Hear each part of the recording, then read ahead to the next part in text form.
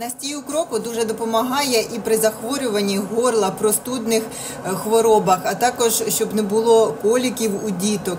А я його п'ю для сну. Якщо у вас порушився сон, ви погано спите, вам потрібно одну ложку столову насіння кропу залити кип'ятком зранку, ну хоча б до обід десь ну, в цьому часу, і ввечері перед сном випити. І пропити хоча б днів 5-7.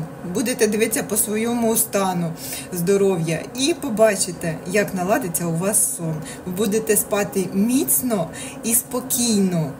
Вам можуть навіть кошмари не сниться, розумієте? Якщо ви страждаєте, що там. Ну, буває всяке, да? ну, всі ж ми люди.